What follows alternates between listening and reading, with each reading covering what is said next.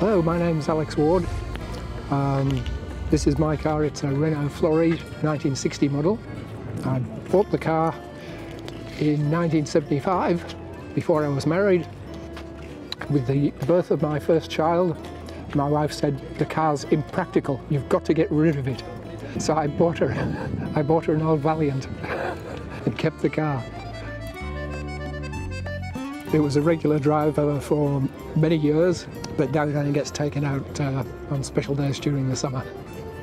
And I've spent the last couple of years um, doing it up, restoring it back to uh, as close to original as I could get.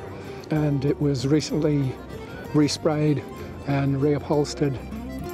The original Renault Florides had drum brakes, nowhere near as good as the later models that had the disc brakes. The person that I bought it from actually uh, got a Renault 10, which is uh, basically the same suspension that was used on the later model as this, and he actually converted it to four-wheel discs uh, and also increased the engine capacity. Uh, it's got a Renault 10 engine in, whereas originally it uh, had the Renault 8. Prior to having this, I had a Renault 10, uh, and it was a toss-up between uh, either this car uh, or a Jaguar Mark 7.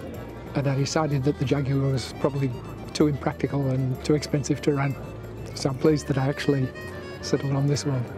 I love it because, well, primarily because of the styling of the body. I think the styling of this particular model Renault is probably uh, the best they ever brought out. It's a beautiful car to drive, very light, very zippy, even though it's only got a 1100cc engine in it. Lovely to take the roof down and drive around during the summer. I like the car so much, I've had it for so long, I have no intention of selling it. Uh, one of my children will be inheriting it.